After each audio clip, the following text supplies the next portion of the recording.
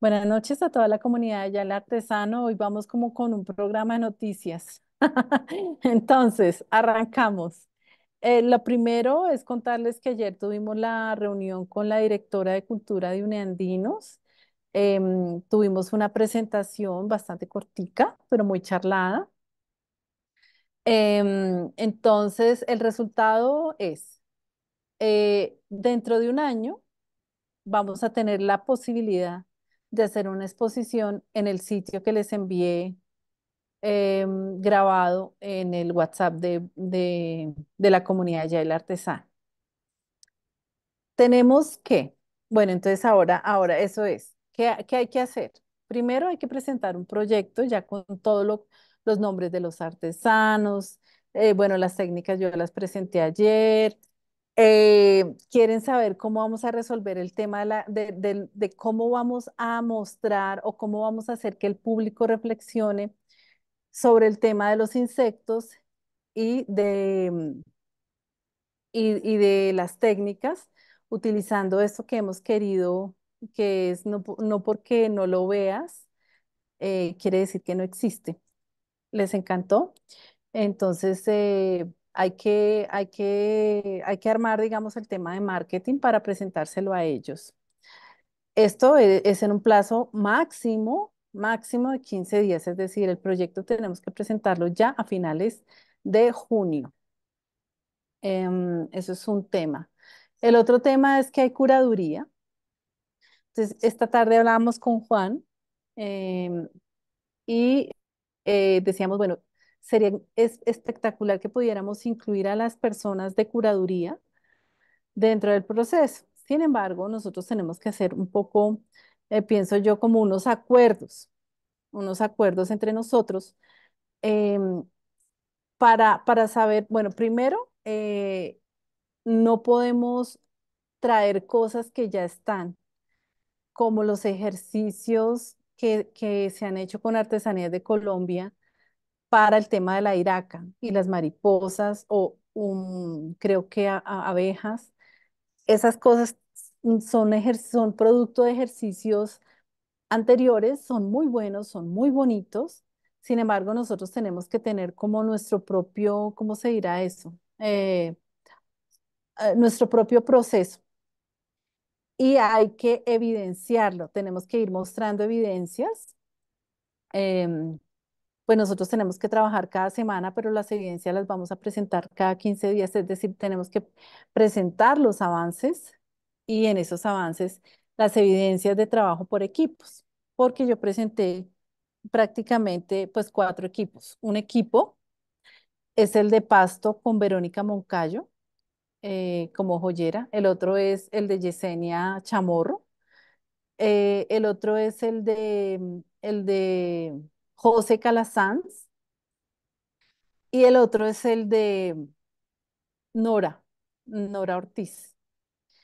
Eh, con, bueno, cada equipo tiene como, como unos artesanos, incluso creo que algunos artesanos como que están en dos equipos, como Giovanni, creo, Giovanni Gómez. Y eso no pasa nada, está muy bien. Eh, eh, solamente que, que necesitamos ser transparentes y visibilizar ese tema. El otro tema es que nosotros hemos escogido insectos, insectos de pronto que no se conocían y que se han descubierto en Colombia. Y esos insectos tienen que estar dentro de la colección, que ese es el otro tema. Necesitamos presentar una colección. Eso quiere decir que debe haber una coherencia conceptual y eh, yo, yo dije, vamos a tener dos líneas. Una línea es la figurativa y otra línea es la conceptual. Vamos a tener que trabajar en esas dos líneas. Y nosotros mismos hacernos como la curaduría, ¿no? Por ejemplo, hay que tener cuidado con los, con los, ay, ¿cómo se dice eso? Como con los matrimonios. Yo, yo les quiero contar que yo una vez eh, hice unas pruebas de seda, trabajo en seda, de Timbío, lástima que Amparito no está por acá y la mezclamos con fique. Y em, tuve la oportunidad de hablar con una experta que murió lamentablemente muy joven, Alicia Perilla, amiga experta, maravillosa maestra. Y ella me dijo, Liz, tú tienes que tener mucho cuidado en cómo haces los matrimonios, porque tú no puedes casar a una fibra reina como es la seda con una fibra que tiene tan mala vejez, que es, que es una fibra, digamos, que tiene otras características que no se le igualan a la seda. Tú no puedes casar la seda con, eh, ah, con el fique. Y yo en ese momento eh, me resistía un poco, eh, pero luego eh, hablamos mucho y entendí que, que si tú te vas, si tú vas a casar un material, tienes que casarlo con uno de su nivel. No sé si me estoy explicando. ¿Sí? Sí, Liz, sí, sí, sí. Perfecto. Gracias, María. Listo. Em, eh, ¿qué más? Eh, en este momento, sí comprendo, dice Mario. Perfecto. Eh, tenemos también que solucionar el tema del montaje. eh, ¿cómo vamos a hacer ese montaje? ¿Cómo no lo soñamos? Porque ya no puede ser eh, como, eh, como habíamos pensado que era como móviles volando, porque el sitio donde vamos a hacer la exposición tiene mu- o sea, mucho tráfico, es, es un sitio de alto tráfico y no lo vamos a poder poner volando. Vamos a tener que pensar en otras soluciones, así que eso también queda como como allí entre el tintero para trabajarlo próximamente. Próximamente estamos hablando de, de- de prácticamente ya esta semana, ¿no? Porque ellos necesitan el, el proyecto con anticipación, esto luego va a un comité, aunque ya tiene un aval, sin embargo, ellos necesitan como, como ver cómo nosotros vamos a, cómo estamos presentando la, mm, el desarrollo del producto, del proyecto, perdón. Lo otro que, que quiero que sepan es que una vez que nosotros presentemos este proyecto, ya vamos a tener como más claridad de qué realmente es lo que necesitamos, porque yo presenté como contrapartida el trabajo que todos estamos haciendo en el diseño, en estas reuniones, el trabajo que cada uno va a hacer en cuanto a técnicas, ¿sí? Esa es nuestra contrapartida. Sin embargo, nosotros necesitamos algunos, mm, cubrir algunos costos, como va a ser el transporte de las piezas, el montaje de las piezas eh, y otras cosas que tenemos que ponernos de acuerdo. Y en ese sentido, entonces, una vez tengamos el proyecto, vamos, eh, pues yo, yo voy a tener que ir a empresas a mostrar el proyecto, a tocar puertas y a buscar dinero. Entonces, eh, no es mucho, uno dice un año es harto, pero realmente no es tanto tiempo, tenemos que movernos. Eh, em, bueno, y creo que, que hasta ahí serían como los temas del proyecto. Eh, bueno, entonces, como vamos a tener que presentar evidencias, estas reuniones son las evidencias que vamos a presentar. La- las personas quieren conocerlos a todos ustedes, eh, quieren saber qué hace cada uno, cuáles son los avances en cada reunión. Y entonces yo creo que como ha sido tan difícil que los miércoles eh, todos nos subamos, Primero, vamos a tener que mirar si es que nos conviene más reunirnos en grupos pequeños por equipos para este proyecto, para el experimento maestro. Eh, y si cambiamos estas reuniones que son de todos a lunes o martes, porque aquí los miércoles, yo estoy en Uniandinos en este momento, Aquí los miércoles es un día de mucho movimiento, entonces hay que hay, eh, eh, hoy hay una, ¿cómo se llama eso? Un- Una exposición, hay una apertura de exposición, también hay un concierto, eh, hay mucho movimiento y, y bueno, yo, yo estoy siendo parte de este movimiento, entonces quiero estar ahí, quiero seguir haciendo contactos, me parece importante para la comunidad. Entonces sí les voy a pedir que revaluemos el tema de las reuniones. Y en ese sentido, antes de que se me olvide, hoy conocí a una persona que se llama Blanca Botero, es una artista premiada, maravillosa, eh, eh, y estuvimos como charlando y me contó de la experiencia que tuvo. em, e- ella tiene un- una, pues una red de amigos artistas y eh, por razones que, que no entendí muy bien, ella tiene los mm, derechos de pasar un documental que se hizo en el Perú, en un sitio que se llama como Santa María o algo así, que es un sitio de extracción minera eh, de una de, de esas grandes empresas eh, que hacen joyería en el mundo y está dejando, digamos, un impacto muy alto a nivel medioambiental. Entonces, dos, dos fotógrafos de guerra fueron contratados para ir a ese sitio y ellos, ellos estuvieron en ese sitio de incógnito, digamos que se mezclaron con las personas, hicieron un documental, hicieron fotos, hicieron video y casi que, casi no, los tuvieron que sacar, eh, como extraer con helicóptero, porque pues hay un conflicto muy fuerte, ¿no? Ellos hicieron este documental y se han ganado muchos premios en varias partes del mundo y le han dado a Blanca Botero la, como el permiso de mostrar este documental. Y yo le conté de este experimento maestro y, ah, bueno, y lo, lo otro que se me había olvidado es que la directora de cultura, Tatiana Ruth, me dijo, Liz, alrededor de esta parte que es estética y es preciosa, tenemos que generar esa reflexión y generar un acompañamiento de charlas o de em, conversatorios o de talleres, lo que ustedes quieran, pero todo eso para nutrir, ¿no? La reflexión que ustedes están planteando y contar esa historia que hay detrás de, de, cada, de cada oficio y de cada técnica.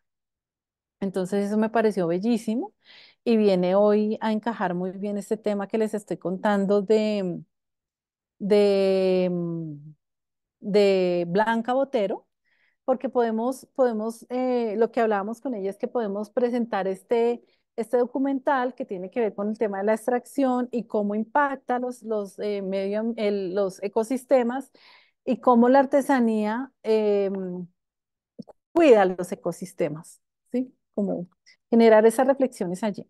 Marta, bienvenida. Gracias, buenas tardes. Entré un poquito tarde porque voy desocupándome de mi, de mi, ¿cómo se llama? Clase de hoy. Perfecto, Marta, todo, todo lo que sucede es perfecto. Entonces, gracias. entonces eh, esas son como, como las, las noticias alrededor del experimento maestro eh, del 2024-2025. No sé si haya dudas.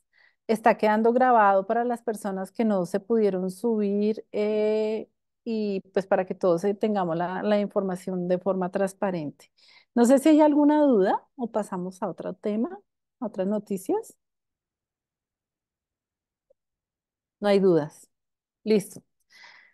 La otra es, eh, en, me inscribí porque de verdad que hubo una insistencia muy alta de la Universidad de Palermo para que hiciéramos una propuesta de una charla que dura 10 minutos el próximo, como que es 27 de julio. Ah, yo les confirmo, em, para que se inscriban también, sobre innovación social y diseño. Entonces, eh, se ha conformado como un, em, como que se dirá, un comité. Igual eh, los invito, todavía pueden sumarse a esta organización de esta charla de forma colaborativa. Eh, está Marta, está Edgar em, Zambrano, que, que me parece raro que no se haya subido. Edgar es un sabedor de la comunidad. Le dije, Edgar, te queremos todo el tiempo. Sí, claro, Edgar. eh, está Juan Jucabaor, Juan, eh, y yo, y si alguien más se quiere sumar, pues bienvenido. Vamos a trabajar en una semana y media mm, en este taller eh, de creación para esa charla de 10 minutos. Em, estamos pasando eh, unas, mm, unas propuestas para los juegos, eh, ¿cómo se llama esos juegos? Eh, no, los olímpicos no. Los que se juegan después de los olímpicos, ¿cómo es que se llaman? Paralímpicos, gracias. No, los Paralímpicos. Una, unas propuestas de los Juegos Paralímpicos en París, porque van a tener un sitio que se llama Casa Colombia. Y eh, escribimos un proyecto, dos proyectos en realidad, un proyecto para, mm, para e- ese, ese, ese proyecto es para contar cómo son las, las eh, cómo ha sido la vivencia de las comunidades indígenas desde una vivencia occidental, que sería la mía.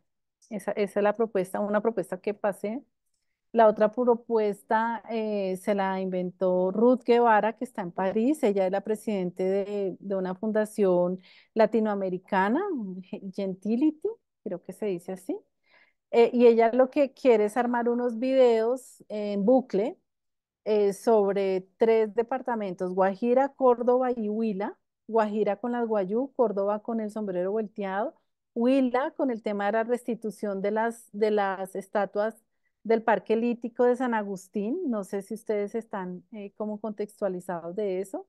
Hace 100 años, eh, un señor que se llama Preus, que es un, un arqueólogo, no, él era como biólogo o algo así no era arqueólogo, pero él hizo unas prácticas de arqueología, malas prácticas, se llevó unas estatuas a Berlín y eh, Colombia las ha estado pidiendo y parece que, eh, que este año, eh, gracias a, la voluntad política de este gobierno actual, más toda la, comunidad del Huila, se organizaron y parece que las estatuas van a retornar a Colombia, parece. Entonces, ese es como el otro tema. Quería como contarles eso. Eh, no sé si hay preguntas, vamos a tener que después trabajar por equipos, porque la idea es hacer esto eh, en este formato Scrum, que es lo que siempre trabajamos, solo que nunca lo decimos, eh, trabajando juntos y haciéndolo. pero esta vez sí vamos a, a dejar las evidencias porque nos las están pidiendo y me parece genial dejar las evidencias. Eh, y reorganizarnos para tener el tiempo de trabajar juntos y de crear estas evidencias que van a ser parte después.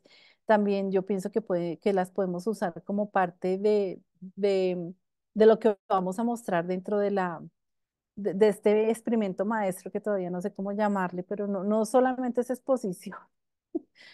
ah, así que los escucho.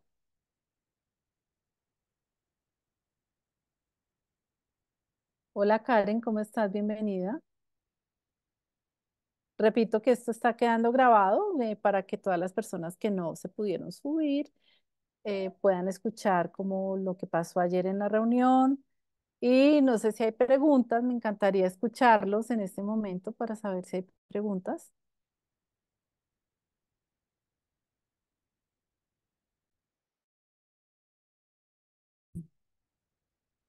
También les cuento que estoy eh, en, una, en un evento que está haciendo Hub con Valores, que es una organización que agrupa a otras organizaciones de todo el mundo que, está, eh, que estamos trabajando para transformar em, la forma en que vivimos actualmente, por eso se llama Con Valores.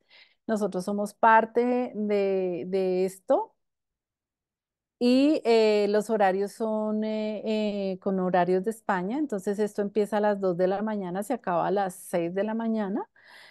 Mañana la exposición es con la Fundación Melinda y Bill Gates, que me parece súper interesante.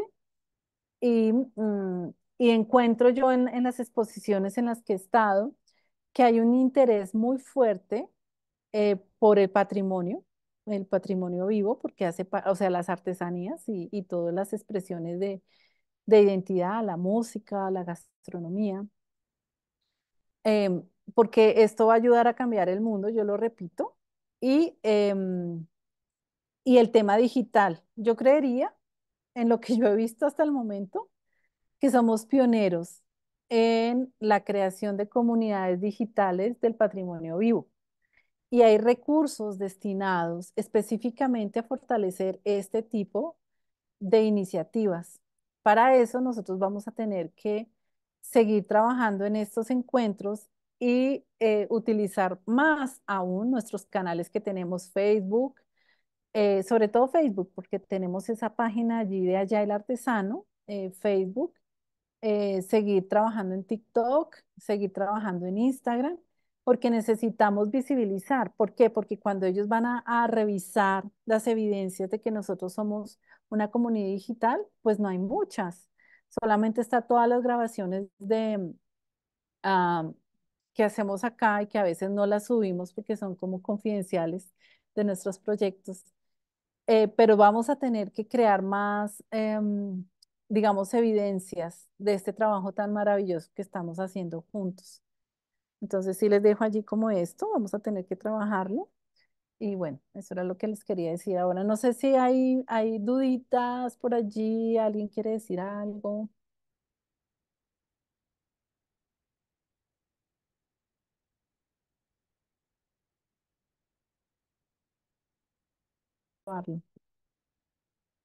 Quiero felicitar a los diferentes equipos porque lo que han hecho es espectacular, están haciendo unas creaciones increíbles. Vamos a tener que, mm, que, que, eh, juntarnos para, para hacer los ajustes necesarios. Es el momento preciso porque todo está en papel, eh, pero sí les quiero felicitar por los trabajos que están increíbles. Muchas gracias, de verdad. De verdad me emociona mucho ver cómo trabajan de, de chévere. Ujú.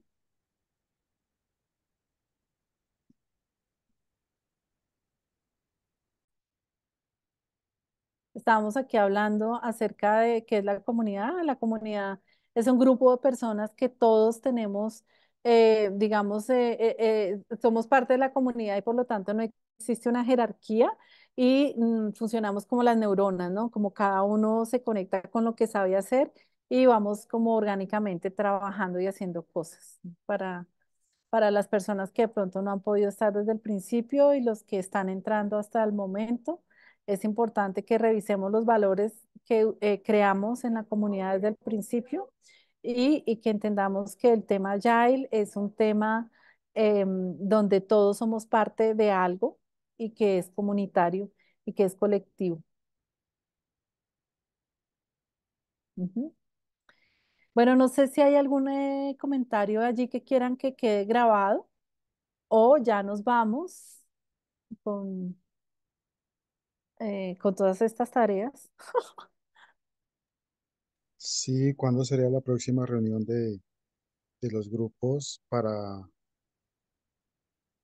bueno, pues mirar lo que el, el siguiente, la siguiente actividad que sería, sí, como cómo se van a unir las dos técnicas, ¿cuándo haríamos esa reunión? O sea, esa creo Pues que, Javier, yo te propongo que tú como, como estás allí como liderando o, o con el equipo de, liderando no, sino con el equipo de, mm, de Yesenia, de Juan y de, creo que Giovanni y, y María Estela, que sí. ustedes miren a ver cuándo, cuándo todos pueden estar y yo, y yo me sumo. Ah, Sí, yo me sumo. Digan ustedes cuándo. Karen, eh, Karen, vas a trabajar con Nora y conmigo y con Manuel y con, eh, perdón, con Juan César Bonilla. Marta, vas a trabajar con, conmigo y con Edgar Zambrano en la creación y con Juan en la creación de la charla de 10 minutos para la Universidad de Palermo en Argentina. Y María, te invito, no sé, cuando quieras a cualquiera de las, de la- de las cosas que estamos haciendo para que nos des también tu perspectiva. Claro, por supuesto. Sí, sí. Bueno, no sé si hay más dudas. o nos despedimos ya. Voy, a entonces a cancelar ya en la grabación. Muchas gracias. Y cualquier duda por el equipo, por el grupo de WhatsApp. Un abrazo grande. Voy a parar la grabación en este momento.